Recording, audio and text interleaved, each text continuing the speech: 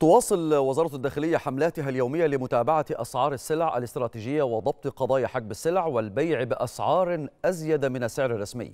وتمكنت الداخلية خلال 24 ساعة من ضبط 503 قضايا تموينية مستندية وعينية بمضبوطات 158 طنا. وفي مجالي حجب السلع الاستراتيجية والاستيلاء على السلع المدعومة تم ضبط 135 طنا. كما تم ضبط 43 طنا في مجال عدم الإعلان عن الأسعار بقصد البيع بأزيد من السعر الرسمي.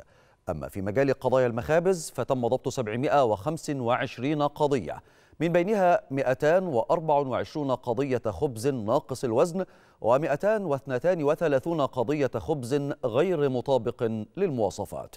أما في مجال ضبط قضايا التهريب خارج منظومة توريد أرز الشعير تم ضبط 22 قضية بمضبوطات بلغت قرابة 165 طناً.